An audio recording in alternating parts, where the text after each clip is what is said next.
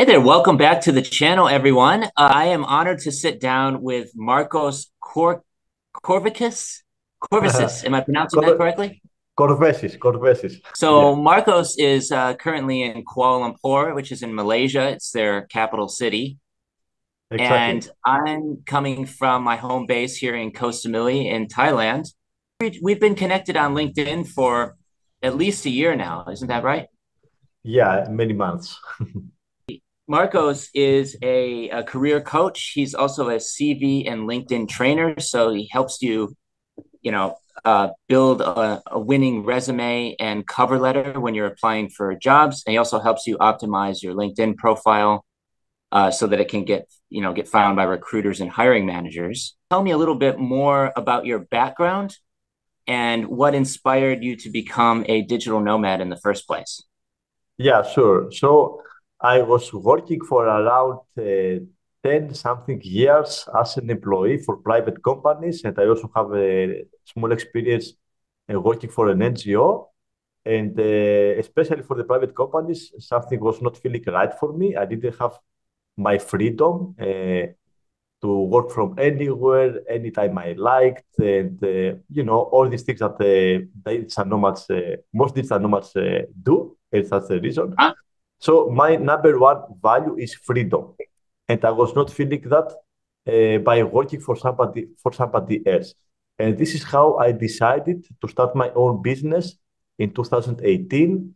Uh, I also built my own team, and uh, everything is everything that we do is online. So we help job seekers land the job they like in uh, many countries with uh, CV writing, cover letters, job interview, uh, job strategies, LinkedIn. And I also help uh, people discover their ikigai.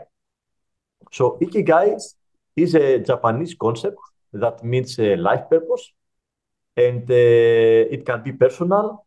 It is, can be something that we do voluntarily, for example. Can be professional, mm-hmm. could be our job can be more than one, and it can change in the future. So I'm helping people find their ikigai. And uh, I mostly focus uh, for people that they want to become like us. I focus for people on people that they want to find their ideal remote ikigai job uh, so they can become digital nomads and work from anywhere. Okay. We were talking a little bit about this offline before we started the interview, and I think that is a, a really great idea to kind of combine all of these three things into one. Uh, uh, but essentially, a ikigai is your reason for being, right? Is your your your passion, exactly, your purpose in life. So it that is able you're able to combine that concept with um, finding a remote job that you're not only good at, but something that the world needs and you can be rewarded for. So exactly. So the ikigai has uh, four elements. Uh, okay, uh-huh. so it is something that you are good at, you love it, the world needs, and you can be rewarded for it. So if, if it has these four elements, it is like your professional ikigai. And as I okay. said, it can be more than one. Maybe some people they have two or three, and maybe they are different, not the same uh, industry, for example. And mm-hmm, then you mm-hmm. choose which one is better for you. So it's good to find a remote job. It's good to find a remote job to work from anywhere. But if it is your ikigai, even better, right? how how often do you travel throughout the year, and how many countries have you been to? On LinkedIn, it says you've been to 34 countries, which is pretty yeah. impressive. So yeah, tell me more is, about uh, that. This is updated. Uh, yeah, I traveled to 34 countries, uh, most of them in Europe. Uh, there were around 28 countries in Europe and the rest in the Southeast Asia. And I keep traveling. I love traveling. I usually stay. Huh? I usually stay for around one to two months uh, per country. Sometimes I go back. There are countries that I have been uh, six times, for example. Uh, sometimes I just go out of curiosity, like in Cambodia, to explore how is it, mm-hmm. how is it there, how is the culture and uh, everything. Uh, other times I go for trainings, like in the Netherlands. I have been six times in the Netherlands for trainings, for wow. personal development and uh, coaching trainings. Huh? Yeah, other times for work uh, or with friends, you know, different reasons every time. I've been telling myself I want to go to the Netherlands for quite some time, but I just haven't made it over there yet. I've actually never been to Europe, believe it or not. Wow. I uh, one time I had to fly from Buenos Aires, which is in Argentina, Yeah. all the way over to London across the pond, uh, just to get back to the U.S., Ah, which I is the most haphazard flight I've ever been on. But uh, didn't really leave the airport, so doesn't count. Yeah. So if you need any tips about yeah, Europe, I can uh, I can share some. uh, I know right now you're in Kuala Lumpur. Um, how how how do you like Malaysia? So I'm here just a few days. Maybe this is hmm my fifth uh, day actually, and because I also work, uh, I haven't managed to go around, uh, but I did my research with also some friends and uh, Google and everything. So I found some Cool. places that I really like to visit, and uh, my plan is for the next days to visit a few places. Uh, Kuala Lumpur uh, looks like New York, uh, let's say. It's Mm, full, full of skyscrapers, and uh, it's a modern city with technology and everything. Yeah, let's see, the, with towers and everything. And uh, my plan is to go to Penang, to the island, and uh, some other places. So my favorite country so far, I would say, is Thailand, Uh, Yeah, because same here. That's why I live here. yeah, I, I really years. like I like the summer weather. That's why I left Europe during the winter. Uh-huh. Actually, I I'm traveling in. Southeast Asia since the 1st of September. So uh, my favorite country is Thailand. Uh, I love uh, the islands like uh, Koh Phangan, uh, Koh Tao, especially for scuba diving in Koh Tao, uh, Koh Samui also, and uh, some other places like Chiang Mai and Pai, and uh, yeah, like many places in Thailand. I love it, and Yeah, and uh, that's I actually where we we got a chance to meet when you were visiting in Koh Samui for what was it, about a, few weeks or a month? yeah, And actually I was in Samui for three weeks. Yeah, okay, weeks. yeah. And we we were able to sit down at a, a nice where the place you were staying in Chaweng. Chaweng, got a had a nice sit down and chat, good food. So it's good to, you know, finally meet because we've been connected for quite some time on LinkedIn and and uh, you just happened to be in Samui. So Yeah, that was that was very nice. And actually, I got the inspiration from you to travel to Samui. I didn't know about Samui. Uh-huh. Oh, you didn't didn't. even know about it before No, I, I have never heard about. Samui. Yeah, I have never heard about hmm it before. So I heard about it uh, from you actually, and I decided to to explore Samui.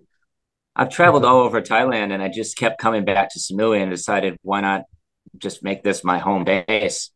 And uh yeah, Yeah, so it's a beautiful place.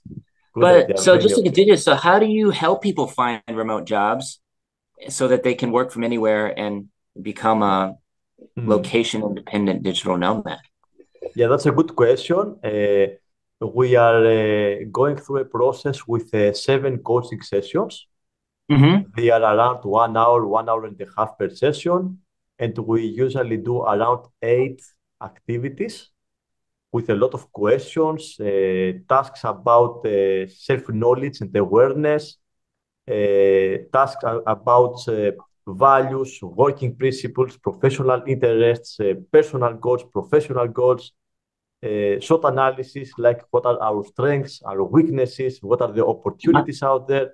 So we do a lot of things to discover at least one ikigai, at least one personal ikigai, and at least one professional ikigai. This is how we do it. So we need around one month, one month and a half to complete the process and have the ikigai. And then it's up to each person how to go there. I give a strategy with the next steps, how to go there, and it's up to each person how much time they will invest or energy or money if needed for trainings or whatever to get the knowledge and the skills to do their ikigai the fastest uh, possible. Uh-huh. Okay. Interesting. So how how um I know a lot of people that are interested in becoming a digital nomad have certain mental blocks, Mhm. right? Where they they feel it's not possible for one reason or another. I've noticed through my own communities that I, that I'm building on LinkedIn and Facebook, um, one of the most common ones is just not having the financial wherewithal or the financial um, budget to travel full time. And obviously, having a, a, fully remote job will kind of take that that anxiety away, so that they can travel and work from anywhere, right? So this is really important, and also you need that remote job in order to get a digital nomad visa in a lot of these countries. So, can you talk a little bit more about that?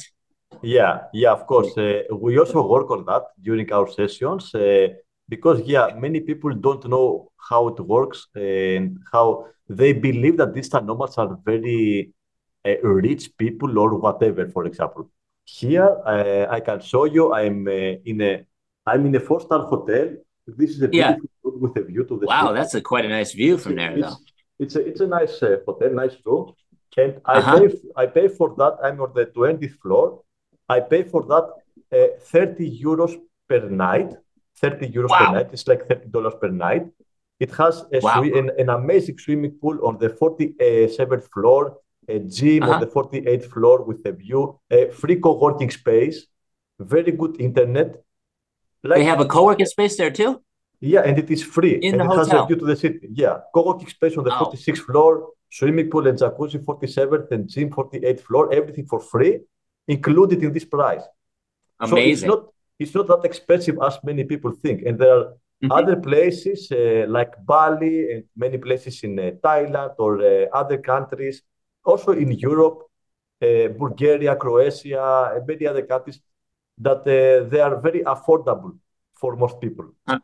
And Even though you know tons and tons of tourists are flocking to Bali now, you can still find affordable accommodation yeah. over there. Like I compared to places like the states, where it's outrageously expensive. Exactly. Like I was living yeah. in Ubud in Bali in the jungle, uh, in the city center of Ubud. I could go everywhere by walking, and I was paying six euros per night for a double bedroom. I mean, am I hearing that right? Did you say six euros per night? Six, six euros per night. Not a hostel. It was a private it, room with a bathroom and double bed. Six euros per night. Is this during COVID times or recently after the pandemic? that was uh, last uh, last uh, September actually, September October okay. 2022. Yeah. yeah. Oh wow! So, so, that just goes to show the cost of living and the quality of life in these places is pretty mind blowing. Yeah. So so as a digital nomad, you can take advantage of the geographic uh, arbitrage. That means mm-hmm. that yep. Uh, you get some money from your clients, right? but you can travel to places that they are more affordable for you. Like here in Kuala Lumpur, I have been to restaurants with amazing uh, meals for lunch and dinner for two euros, two dollars per meal.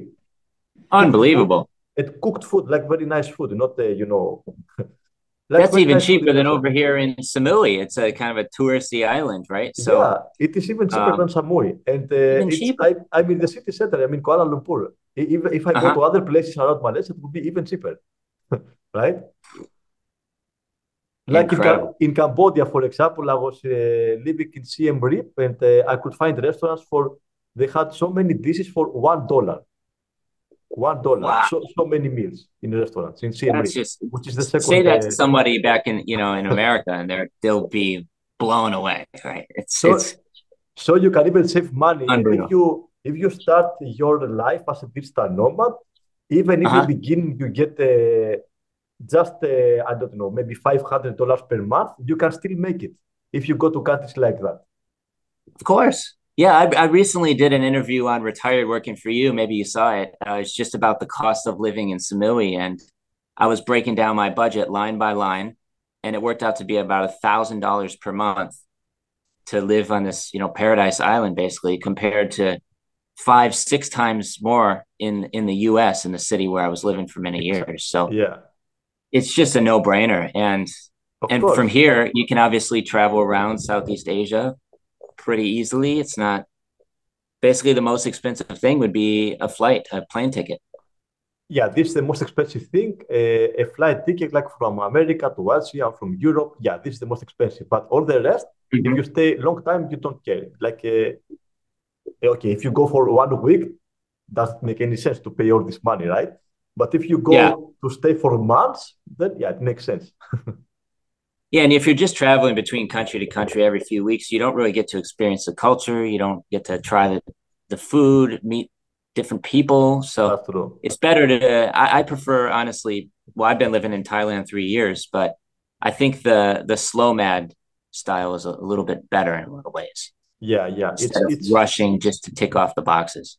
It's better for us because we can also uh, learn the culture, enjoy the place without uh, mm-hmm. in a rush, and also work smoothly without, uh, you know, going around to watch everything and to work at the same time, and to also meet some people who make some friends.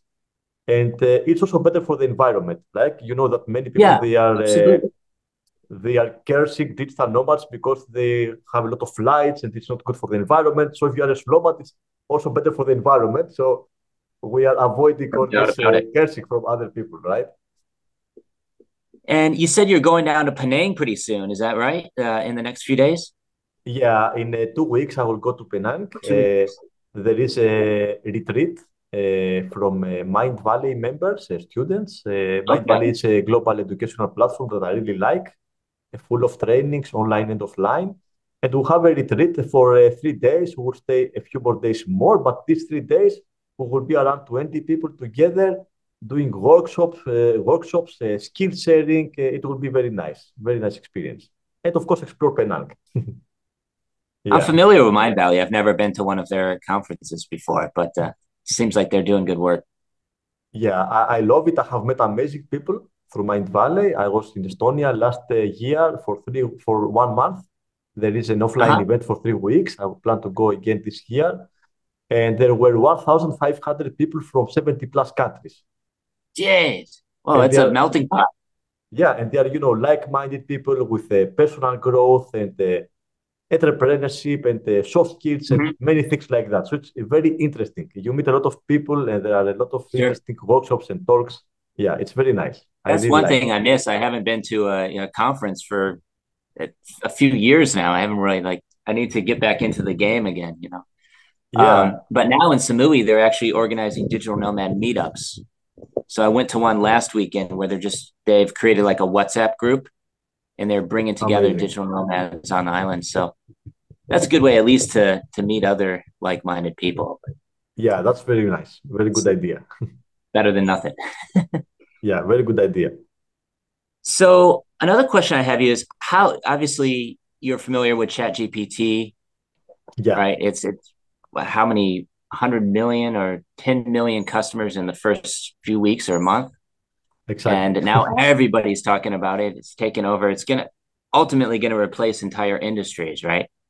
So how yeah, do you see that evolving over the next few years? And do we need to be worried about it? Uh, how it, people are saying it's going to replace all the jobs. So yeah, ChatGPT and other, and white collar. Yeah, ChatGPT and other similar tools, and uh, in general, artificial intelligence and robots are here, uh, and uh-huh. some of them are here a long time ago, like even a decade ago, and they are already replacing some jobs, right? Like uh, I, made, I guess that also uh, you, by traveling in Southeast Asia or other countries uh, and other digital nomads, you have seen a lot of robots. Like in Estonia, there are robots that they deliver uh, food packages and things. You can you can see robots on the streets going around, uh, or in uh, the airports and uh, malls and many other things. There are robots that they are cleaning the space, or they are doing customer support, or there are robots in there are restaurants and hotels in Japan, in Korea, that uh, they only have robots, no humans. Uh, or barista robots, like many and hotel check-ins too. I was watching a video about in South Korea where they have a robot checking you into the yeah, hotel. Exactly. So is... there, there are even robots uh, in Sweden that they do job interviews and they decide uh, which candidates will uh, go to the second uh, phase and have an interview with an actual recruiter. So this is different from the applicant tracking system, right? It's something else. Yeah, yeah. This is a robot. It is a robot, a natural okay. robot. Uh, can hmm. be offline, one to one with a robot, or or uh, online with an application. And the robot evaluate the candidates and decide who is better to go for a second interview with the human uh, resources department. This already happening since 2019. Uh, Wow. An actual robot. This is the first I'm hearing about it. Yeah, it's called the Tengai from Furhat Robotics in Sweden. And uh, I guess Mm. maybe there are now more companies uh, for that. I, I'm not sure if there are more. So yeah, uh, artificial intelligence is here. It is already replacing some jobs. I believe that uh, we should be aware about it. And uh, Yeah. there are many professions that I believe they will be replaced if the professionals will not, uh, don't know how to use AI for their business. Yeah. So how can we use this to our advantage, right? To to put Exactly. ourselves in the competition. Exactly. So I am a career coach. Will I use AI to improve my job or will I let AI to replace me, for example? Mhm. Of The course, yours. AI cannot really replace uh, human interaction jobs, uh, but it, it can help a lot. So what does it mean? Is that the people that they learn how to use AI, they will have an advantage, right? Or you could be the one selling the pickaxes, right? You can create a, let's say, a course about how to use ChatGPT. That's something I've done myself. Yeah, that's And also a good let's say idea. that the people want to learn how to use this technology, right? There you go. That's how you uh, can make make money. Exactly. That's a good idea. Of course, there are many years to go, and uh, as digital nomads who can have clients from all over the planet, uh, so it's not really affecting us because Sure. we can uh, help Yeah. people uh, from many countries, uh, different backgrounds. Many people don't know how to use technology. Mhm, Okay. mhm. So yeah, it's I think it's not a big risk for this nomads. And we can we can use ChatGPT to write entire cover letters.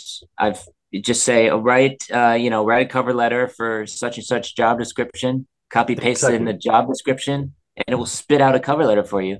Yeah, I Um, was 10, I was 30 seconds.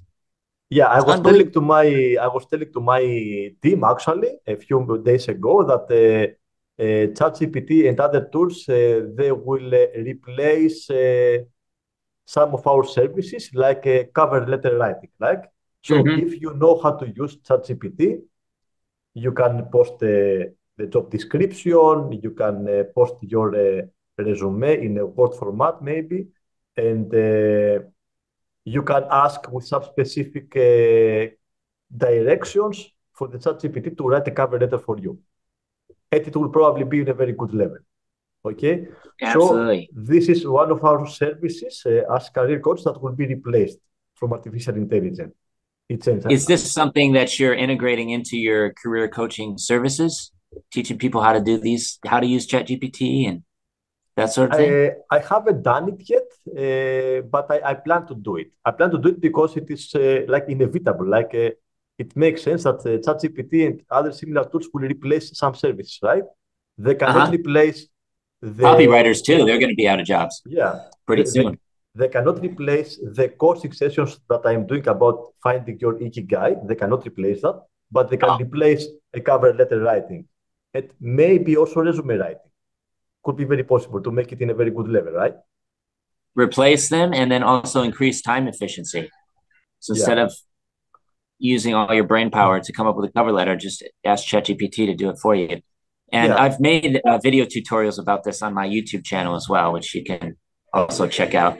That, that's amazing. Also, I want to say here that there are some other AI tools that they can help our job, right? Like for me, there is an a, a, a new AI tool that it can help with. Uh, they can help career coaches with job interview simulation, like Hmm. to to test a candidate with a you know a demo job interview by using this AI tool for better results.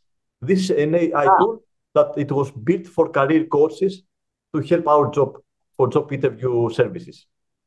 And So what that AI tool called?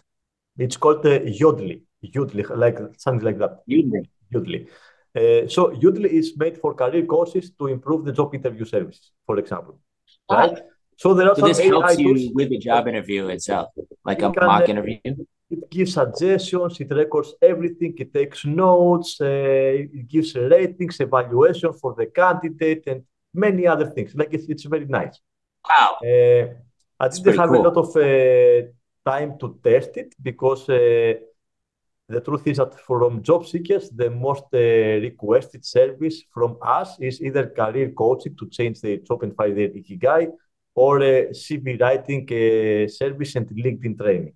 So I don't have a lot of requests about job interview, uh, like demo job interviews to test, but it's something that I would like to try in the future. I want to say here that yeah, there are some AI tools that they can boost our job. So imagine a career coach like me having AI tools like that and other coaches that they don't have these AI tools.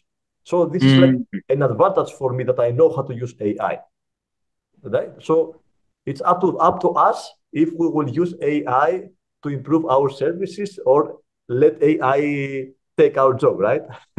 yeah, you can either get with the program or be left behind, right? Exactly. Uh, and there's actually a website called there's an AI for that.com. I don't know if you're familiar with this one, but it has just hundreds and hundreds of different mm-hmm. AI tools uh, for yeah. pretty much any topic that you're you're interested in. Yeah, there are, there uh, are so pretty, many already. Amazing. Yeah, so many. And another question I have is I, I, know you're a wealth of experience on all things, you know, career coaching, remote jobs, that sort of thing. So I want to ask you, uh, what why do you think that so many tech companies, especially in the U.S., Facebook, Google, Amazon, um, mm-hmm. what else? Many many tech companies, they're hiring out, they're firing tens of thousands of employees. Uh, why do you think that is? What's a is it just because they were hiring really really fast during the pandemic? and it wasn't sustainable. Um, give me some insights into, into that. I'd be curious.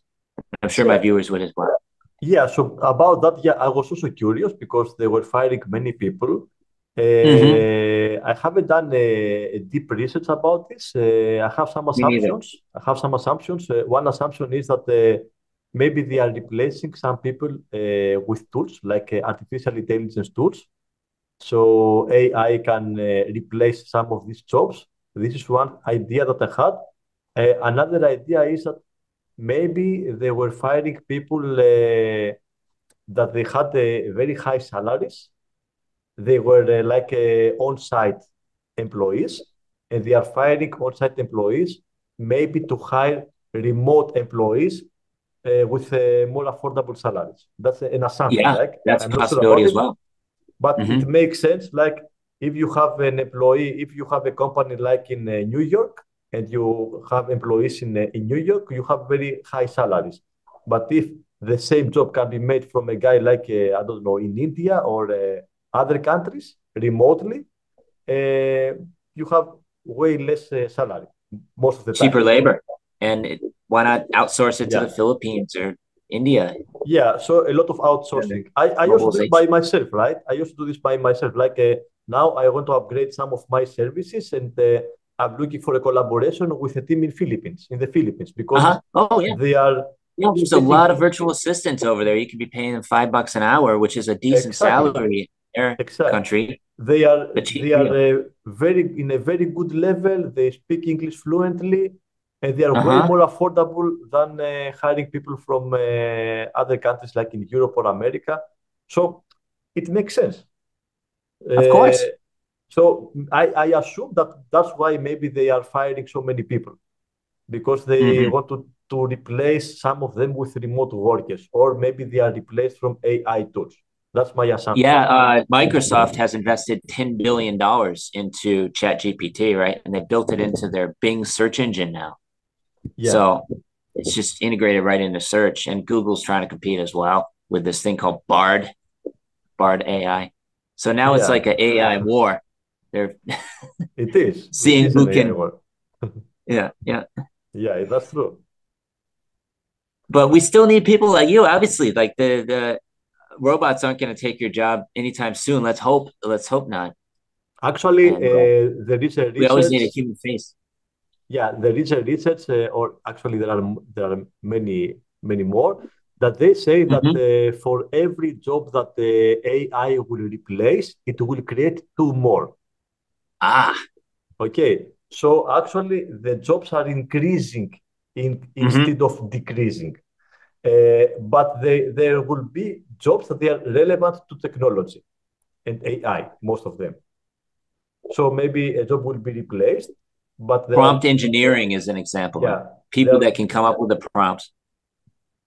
Yeah. So so okay, uh, AI actually is uh, offering more jobs than uh, the jobs that uh, it is taking. It's mm-hmm, up to mm-hmm. us if we will adapt to this change and uh, learn new skills and uh, follow the, the trends. Exactly. It's all mindset up here. Yeah. so another question I have you is where do you see remote in the ne- remote work and hybrid in the next five years? So I believe that will be increasing uh, uh, more and more again and again. Uh, I have I have done a lot of polls and I have read many more from official organizations and websites and companies and many things like that. And uh, it seems that most people, like the majority of the people, they like 90%, they want to work remotely. Mm-hmm. That mm-hmm. is uh, up to 90% and half of them they want to work fully remotely or uh, hybrid. Yeah. Uh, and when they mean hybrid, uh, they like to interact with their colleagues or to other people in general. So hybrid could also be co-working space or uh, something else. Doesn't necessarily mean that they want to go to their office, to their company.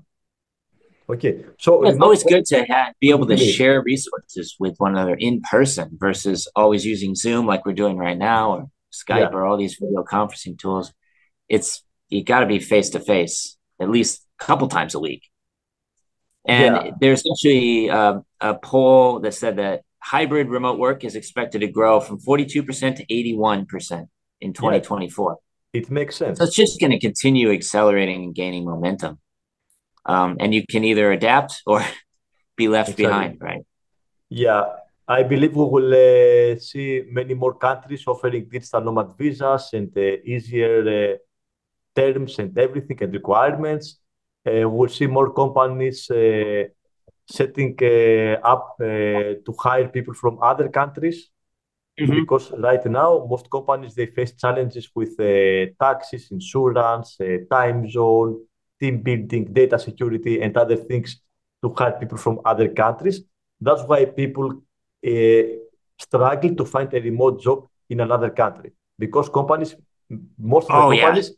They prefer to hire people, remote workers from their own country, not from other countries, because of for this reason. Because of the time zone difference. Like if I'm working for a U.S. company remotely, living yeah. in Thailand, my hours are going to be completely flipped, or I'll have to be up at 1 a.m. in the morning.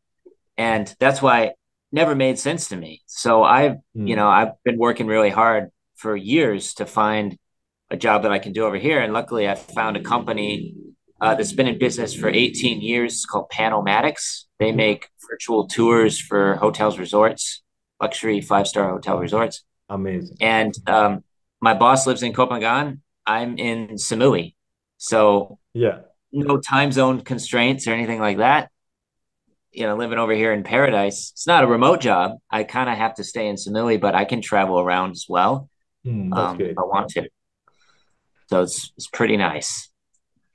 That's great. Um, and yeah, I think I think that's a, a great introduction to you, and uh, hopefully, I'm gonna start doing more of these interviews too. You're you're actually one of the first digital nomads that I'm interviewing on the channel. So, uh, thank you for that. yeah, thank absolutely.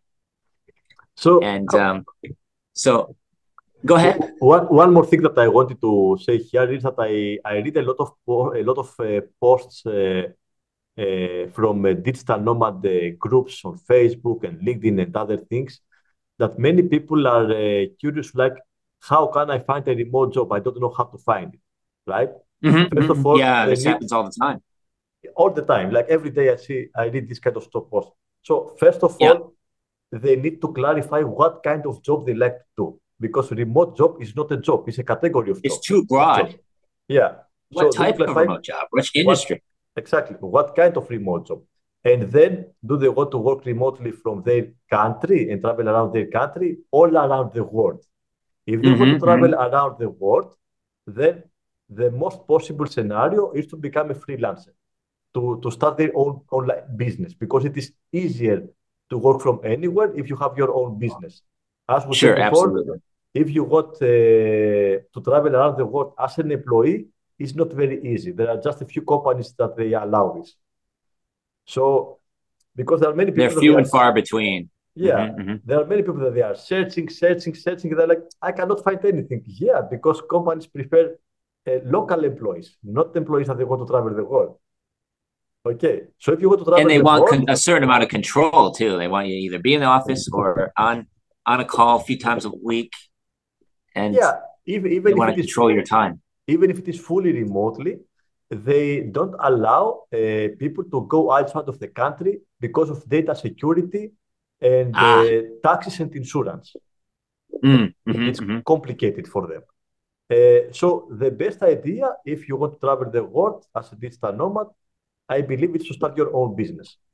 Uh, this yep, is 100%. Easier. It's, it's way easier, right? And you can have clients from all over the planet. Exactly. I totally agree with that. And uh, you can also use sites like Fiverr and Upwork. The only problem with that is it's yeah. a little bit, I've noticed it's quite difficult to find clients. You have to send multiple proposals on Upwork. And then on Fiverr is kind of like bottom of the barrel. You're you're getting paid a very small amount. Yeah, typically. I know some I know some people that they did that. Uh, what they did was that they were offering their services uh, uh, almost for free, like in a very mm-hmm. small amount, to start getting a lot of reviews, like five star reviews. And when they build yeah. reputation, they have a lot of reviews. Then they started charging more because they already have uh, an sure. account with a lot of uh, good reviews. So like, okay, now I have a portfolio, I have testimonials. Now it's ready. It's easier. That's often how it starts for any business. Even for my own photography business, I had to yeah. do a lot of stuff for free in the beginning, exactly. and get the reviews, testimonials, and go from there. Also, there's there's Upwork too, where you can sell course, not Upwork, Udemy. Udemy, yeah, with courses. You can sell courses on there, and um, I have noticed it's a little tricky unless you have a lot of reviews. So you can also just mm-hmm. offer it offer it for free. It's in the beginning, get the reviews, and go from there. Yeah, yeah. But yeah, I totally, I totally agree with you. You should should have at least a few paying clients lined up. Start your own business before you just start just throw it throw everything out the window and take mm-hmm. off on your digital nomad journey. Yeah. It's it's very helpful to have that cushion, financial cushion. Exactly. For take off. Yeah, and that's a, as a but definitely possible. Yeah, exactly. And as a reminder, as we said in the beginning, uh, they can start uh, by traveling in uh, more affordable countries. Uh huh. Okay, even if they have a salary of uh, three to five hundred dollars per month, they can find countries that this salary, this income is enough to stay there. They okay. can use no a site like Nomad List, exactly, and, which yeah. basically breaks it down into different categories: cost of living, you know, all, all sorts of uh, fast Wi-Fi, cultural um, things, everything yeah. you can find on Nomad List. And I think Bangkok's actually number one on the site right now. Uh, and there are many options uh, that they, they, are way more affordable than uh, Nomad List is mentioning, mm-hmm. or, or Numbeo, another website that is comparing the cost of living from city to city, Numbeo. there are way more affordable options. Like I said, okay, for example, in Ubud in Bali, maybe you can find accommodation for $1,000 per night, but you can also find for $3 per night, for $5 per night. Okay, so it's up. So it's not necessarily an accurate representation, right? On on Nomad List, exactly. Bali is number two. It says average cost of living two thousand dollars a month, but you can obviously spend a lot less or a lot more. It just depends on how well you want to live, right? Exactly. Also in Samui, uh, do you want to go like to have a, a pad thai for uh, one dollar in a, a, night market, or do you want to go to a European restaurant and pay ten uh, dollars per meal? Precisely. It's up to you, right? Yeah. Mm-hmm. Totally up to you. Exactly. You can be living like a king over here on three thousand dollars a month, or you can yeah. be like me, spending three hundred dollars a month. Um, yeah, exactly. Entirely, entirely up to you. Many options. There are many options. It's up to us. Yeah. Like here, I pay. I, I said three thirty dollars per night here in a four star hotel with swimming pool and gym and co-working space, everything included. I can find a, a hostel for five dollars per night if I want. Right? Yeah. Yeah. Of course. My friend, uh, he's a retired Canadian expat. He lived, he's bought a house over here in Samui, right? But they're taking a month long vacation to Kuala Lumpur, and he mm-hmm. found this, you know, amazing deal um, at the Traders Hotel, which is right across from the, what's the name of the the, the towers there? Petronas Towers. Petronas Towers, yeah, they are like. And yeah, he's been sharing pictures from that hotel. It's just like they've got a direct line of sight to the Petronas Towers, and they're staying there for a full month and then coming back wow. to Samui. Yeah. So I'm a little bit jealous, but uh, it's different here. Here is it's a city, you know. You are in a tropical island, yeah, sure. a very beautiful island in Samui. This is a city, different lifestyle. Similar to Bangkok, but I would say probably a lot, quite a bit smaller population wise, right? Or it's roughly very, the same size. It's yeah, it's different. It's different, uh, yeah, than Bangkok. Yeah, definitely uh-huh. different. Uh-huh. different experience. Cool. And is there anything else we should talk about? I think that's all the questions that I have for you. Um, but happy to explore other topics if anything comes to mind.